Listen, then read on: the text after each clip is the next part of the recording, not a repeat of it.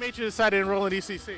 I had three siblings that have attended here, and they had a lot of great things to say about it, so we decided that'd be the best place for me to go.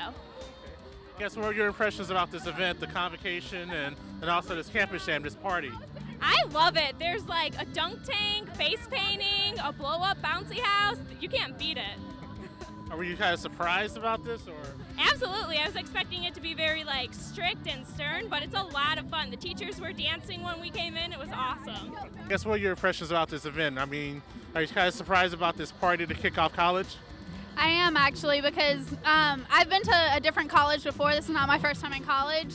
Um, and they don't do anything like this. This is really cool. It's amazing. And I'm from Texas, so I don't know anybody here. And I obviously I made friends like the first time I'm here, so it's great. What made you decide to, to um, enroll in ECC?